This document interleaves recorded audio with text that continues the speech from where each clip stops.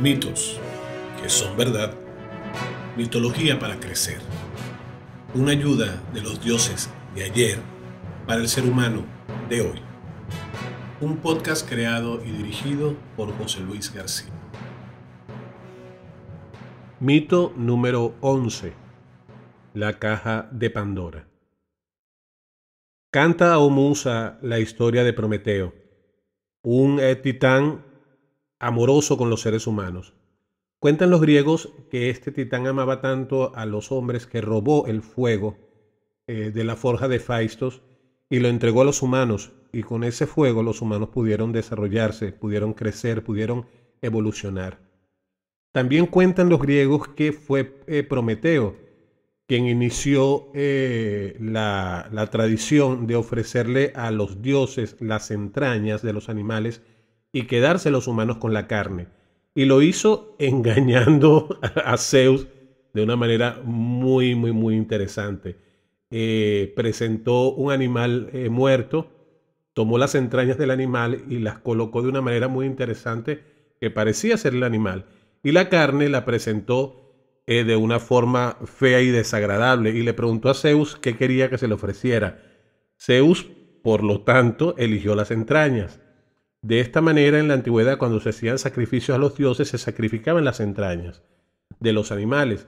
Eh, pero Zeus se sintió defraudado.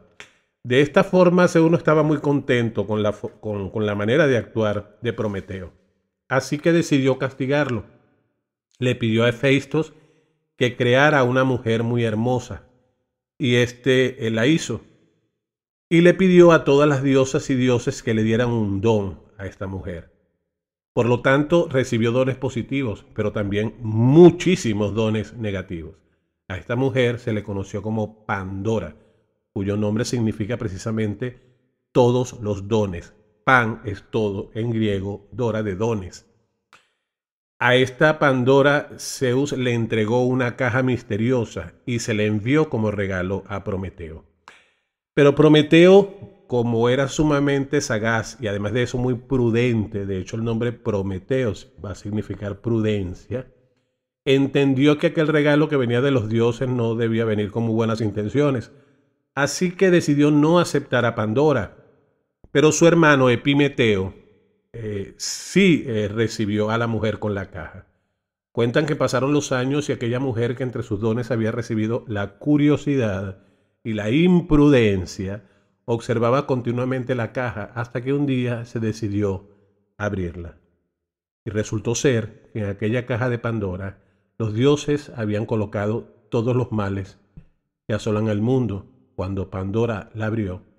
Y allí salieron las enfermedades, los dolores, las cosas terribles. Y dicen que en el fondo de la caja quedó una lucecita siempre encendida, que es la esperanza de ese mito precisamente viene esa frase que todos conocemos, la esperanza es lo último que se pierde.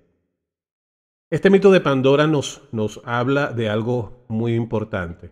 No confundamos curiosidad con imprudencia.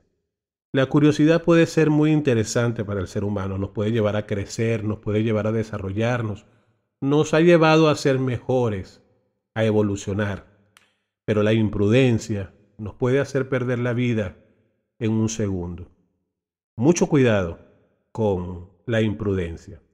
Recordemos eh, a este gran titán que nos enseña a tener eh, mucho cuidado al momento de tomar nuestras decisiones.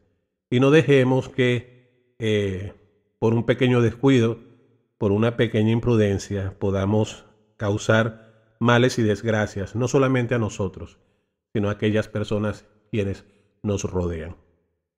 Gracias por acompañarme.